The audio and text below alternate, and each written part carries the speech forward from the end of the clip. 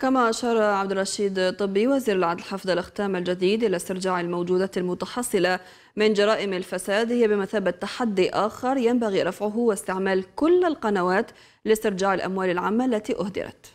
وعلى صعيد آخر بشكل استرجاع الموجودات المتحصلة من جرائم الفساد تحديا آخر.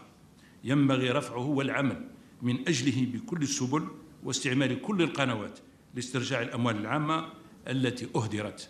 في إطار مسعى وطني يهدف إلى لم مقدرات الأمة وخيراتها مثل ما وعد بذلك السيد رئيس الجمهورية. كما ستتركز جهودنا أيضا على تحضير كل النصوص القانونية التي تتطلب تكييفها مع التعديل الدستوري الأخير.